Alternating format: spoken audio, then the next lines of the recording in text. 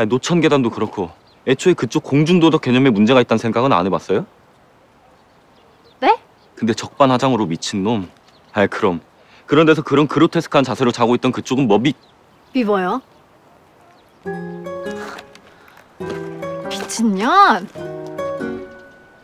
그 미성숙한 시민 의식이나 고쳐요. 저기요. 이성수? 진짜 어이가 없네. 내가 그때 벤치에서 사람 애들 그래 가셔야 되는데. 아, 내가 이거 들고 갔었구나. 감사해요.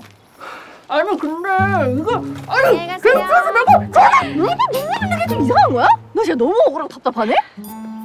가봐. 가서 얘기. 말리지 마. 응, 나 안 말려.